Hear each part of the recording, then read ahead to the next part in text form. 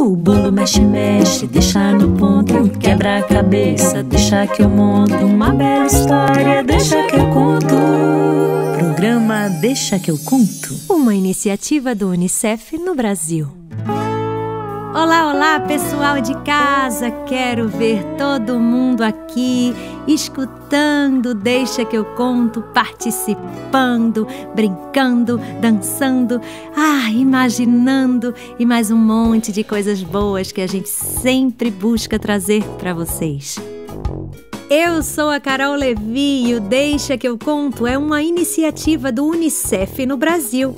Você pode nos encontrar no nosso canal do YouTube, que é o youtube.com/unicef Brasil e no Spotify. É só procurar Deixa que eu conto.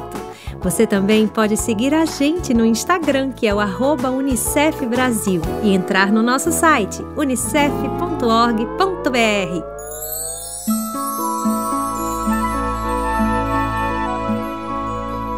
Estão preparados para chamar a história? Então vamos lá. Um, dois, três e já! História! Mais uma vez. História! De novo. História! Deixa eu ver se funcionou. Deu certo, gente. A história é. Hoje nós vamos contar da raiz do cabelo até a ponta do pé. Escrito por Emília Nunes, ilustrado por Ana Paula Azevedo, a editora Tibi. Madame Margot entrou na sala e encontrou todas as suas alunas de balé esperando. No cantinho, agarrada às pernas da mãe, estava Nandoca. Ela pensava seriamente em sair correndo. Nandoca não gostava muito de rosa e tudo ali era rosa. Todas as alunas de colã rosa, saia de tutu rosa, meia calça rosa, sapatilha rosa, os cabelos cuidadosamente presos em um coque com uma rede rosa. Mamãe, acho que não quero fazer balé. A mãe de Nandoca ouviu atentamente e, tentando encorajar a filha, disse: Filha, você gosta tanto de dançar, me pediu tantas vezes para entrar na aula de dança. De dança, mamãe, não necessariamente balé. Vamos, filha, dê uma chance. Você sabia que Madame Margot foi professora de balé da sua titia Maria Teresa? Hoje ela é uma grande dançarina. Nandoca decidiu tentar, mas continuava um tantinho desconfiada. Plie um, plie dois, plie três, gros plié. Muito bem, muito bem, todas juntas, isso, iguaizinhas. Disciplina, esforço e repetição levam à perfeição. Vocês precisam ser perfeitas leves como borboletas, suaves como a brisa, lindas e meigas. Ah, e falando em perfeição, na próxima aula escolherei a solista da grande apresentação do final de ano. Me surpreendam! Quero ver cada uma dando o seu melhor. Madame Margot fez um convite para a aluna nova. Nandoca, ouvi dizer que você é uma grande dançarina que tal nos mostrar sua pirueta? A novata olhou para todas as colegas, mas ainda não conseguia distinguir uma da outra. Elas pareciam iguais, um jardim de florezinhas rosas. A pequena dançarina fechou os olhos, sentiu a música e fez a maior e mais incrível pirueta já vista por Madame Margot. Ainda de olhos fechados, Nandoca não se conteve e seguiu dançando. De repente, ela tropeçou e caiu de bumbum no chão. Puft! Vocês pensam que ela quis parar? Hum, que nada! De olhos fechados, Nandoca continuou no improviso. Quando a música acabou, Nandoca abriu os olhos e estava toda suada e com os cabelos soltos. As alunas se cutucavam. Ninguém acreditava no que tinha acabado de acontecer. Uma aluna não parava de rir. Os cabelos de Nandoca tinham se soltado. Nandoca não sentiu nenhuma vergonha durante a dança, mas agora, descabelada e suada, só queria que a aula acabasse. Quando a aula acabou e ela voltou para casa, seguiu chorando baixinho. Na aula de balé seguinte, Nandoca chegou arrastada pela mãe, toda de rosa, com o cabelo bem preso em um coque perfeito. Eu não quero ir, mãe! No balé, todas as meninas são iguais e elas não gostam de mim. Elas riem de mim. A mãe da pequena bailarina disse com firmeza: Não vou deixar você desistir na primeira queda. Se você não quiser continuar no balé, tudo bem mas só depois da aula de hoje. Mesmo contrariada, Nandoca obedeceu à mãe e foi a primeira a entrar na sala. Boquiaberta, ela viu a segunda aluna chegar. Era Maricotinha, que ela já veio bailando, vestida de amarelo e com os cabelos soltos. O cabelo de Maricotinha é ondulado. Seu fio vai e vem, ora para um lado, ora para o outro. É como um caminho sinuoso. No cabelo de Maricotinha, um lindo laço de fita. Como ela é bonita! Seus cabelos são como ondas do mar. Nandoca se encantou. Logo depois chegou Leiloca rodopiando. Ela estava vestida com um lindo colã azul escuro e um tutu azul claro. Seus cabelos também estavam soltos. O cabelo de Leiloca é crespo, volumoso e bem fofinho. O cabelo de Leiloca fica lindo de muitos jeitos. Ela gosta de trançá-lo e às vezes ela usa turbantes bem coloridos. Mas, para a aula de balé de hoje, ela o queria bem armado em um black vistoso. Como ela é bonita! Sua cabeleira é como uma floresta. Nandoca se admirou. De repente, sapateando, chegou Dirinha. Ela vestia um colã preto e suas sapatilhas eram douradas. Seus cabelos estavam soltos também. Dirinha tem os cabelos bem lisos e claros. É um fio reto, bem reto, não faz uma curva sequer. No cabelo de Dirinha, até o enfeite escorrega, mas ela colocou uma bandana. Como ela é bonita! Tem raios de sol brilhando na cabeça. Nandoca se animou. Maria chegou valsando e ninguém acreditou. Seu colã era incrível, parecia um uniforme de time de futebol e suas sapatilhas imitavam uma chuteira. Seus cabelos estavam soltos e voavam em uma dança. Maria tem os cabelos cacheados. Seu fio dá voltas. Quando você puxa, ele estica e quando solta, ele volta. Maria adora o movimento dos seus cachinhos e adora enfeitá-los. Como ela é bonita! Sua cabeleira é vermelha como fogo. Nandoca apreciou. Só faltava uma aluna.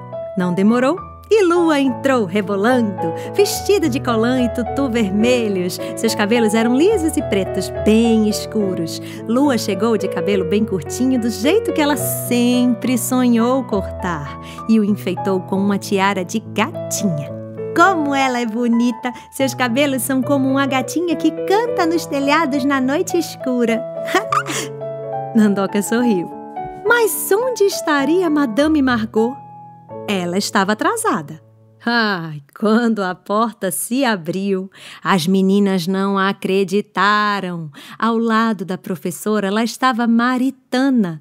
Era sua primeira aula depois de muito tempo.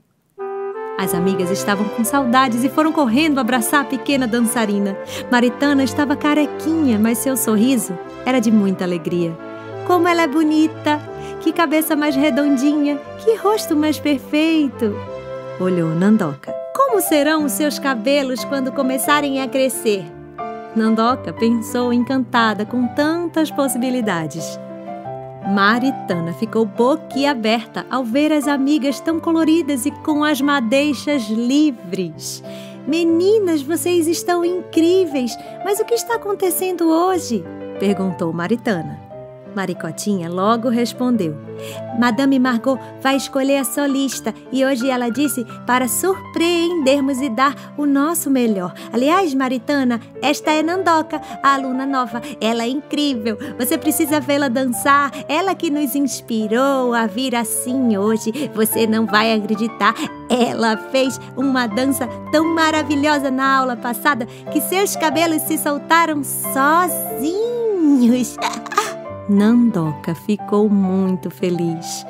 Ela achou que tinha parecido ridícula na última aula e, na verdade, acabara de descobrir que suas colegas a admiravam. Mas Madame Margot saiu da sala repentinamente. As meninas não entenderam o motivo e ficaram muito preocupadas. Será que ela está zangada porque viemos diferentes hoje? Dirinha ficou apreensiva. O que fazemos agora? Madame Margot já é brava. Calma, imagina chateada. Ponderou Lua rindo. Ela sempre ria quando ficava nervosa. Quando, de repente, elas escutaram passos firmes vindo em direção à porta. Madame Margot, enfim, reapareceu. Minhas queridas bailarinas, vocês me fizeram lembrar algo muito importante. Toda menina é bonita, da raiz do cabelo até a ponta do pé. Toda menina é perfeita do jeito que é. E as lindas e coloridas bailarinas começaram a dançar juntas. Nandoca se sentia parte da mais linda primavera. Agora dancem! Apenas dancem! Oh, oh, oh. E assim, Nandoca e suas amigas aprenderam que toda menina é bonita e que toda menina pode ser bailarina. E tudo mais o que ela quiser. Hora da dança! E agora eu quero convidar vocês aí de casa a fazerem um desenho, o desenho que vocês quiserem, enquanto a música do Sérgio Campelo, chamada A Bem Dizer, começar. Vocês podem desenhar qualquer coisa, o que der na telha, enquanto escutam a música. Quando a música acabar, vocês param o desenho para ver como ficou, combinado? Chegou a hora da dança!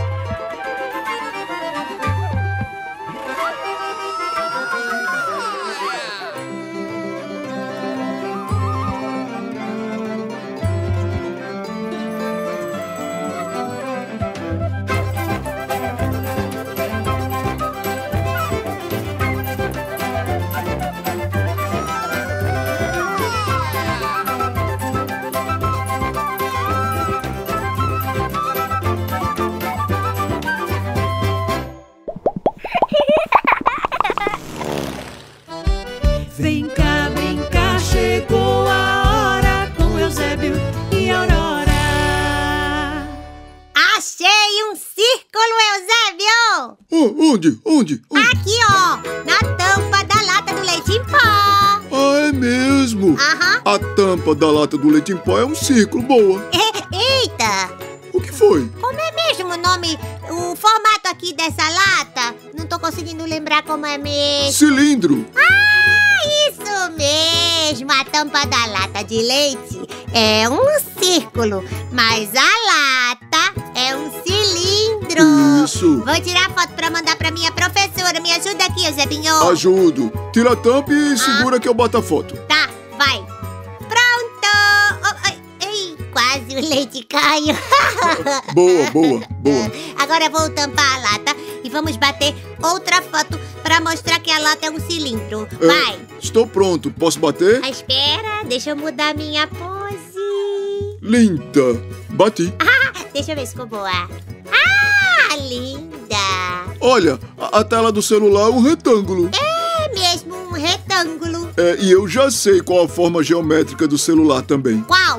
Esse celular é um paralelepípedo.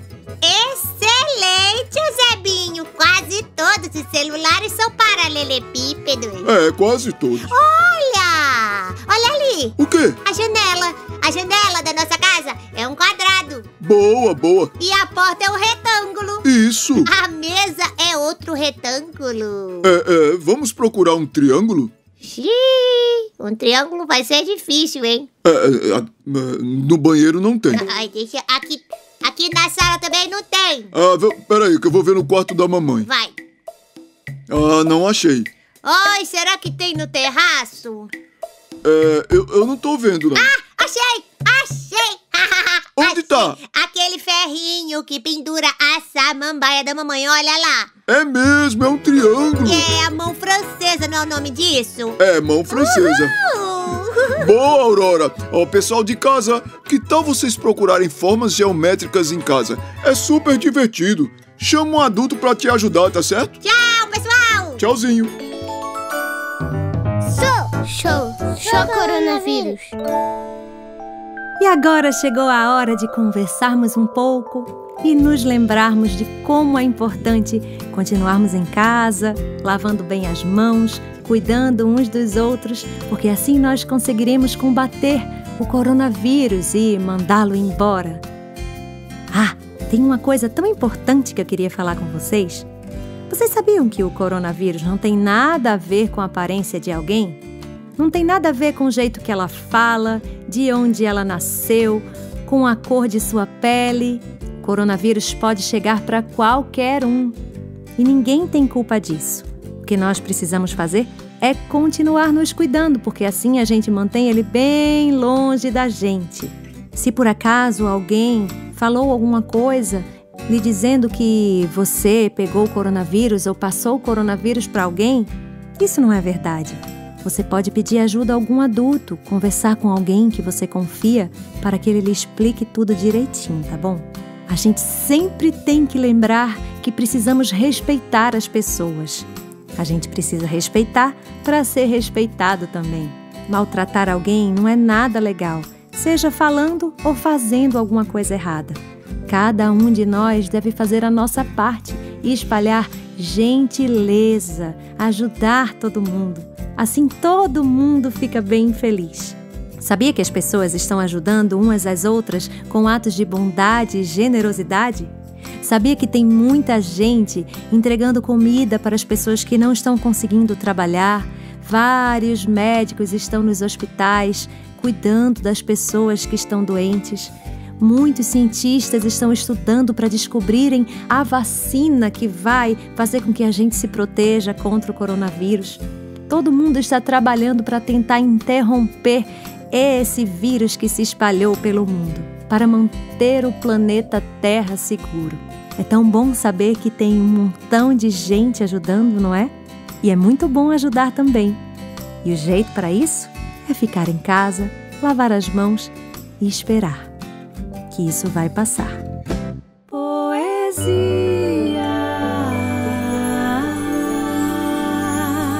E agora nós vamos ouvir a poesia Brancos e Negros do Pedro Bandeira.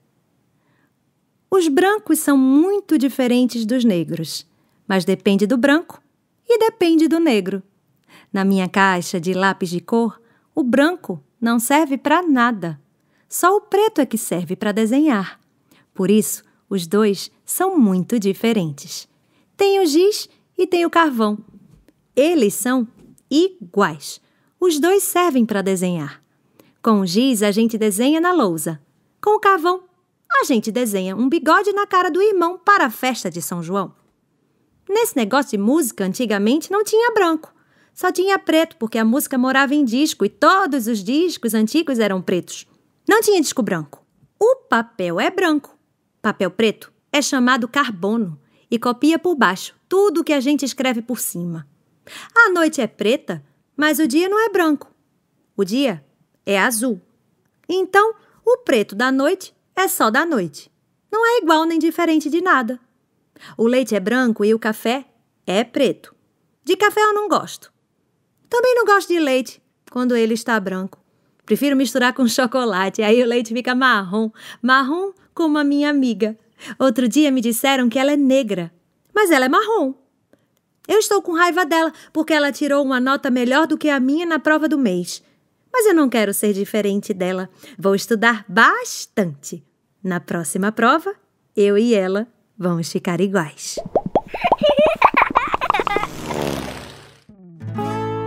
Sintam-se todos abraçados, pois o nosso programa chegou ao fim. Mas não fiquem tristes, que já já a gente volta.